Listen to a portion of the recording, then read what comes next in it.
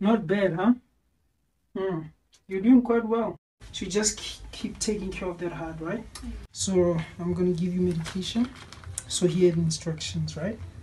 You take one three times a day. All right. That'll help with um, getting your heart strong again, right? Right. Thank you, doc. Yes. You understand everything. I do. In that case, cool. You can now leave. Thank you. Hopefully, I won't see you again, huh? Oh, you know you want.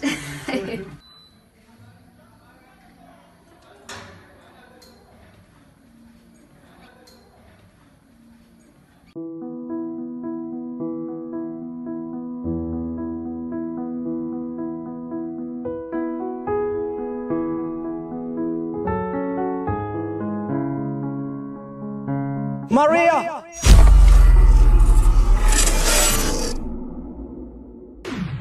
前男友。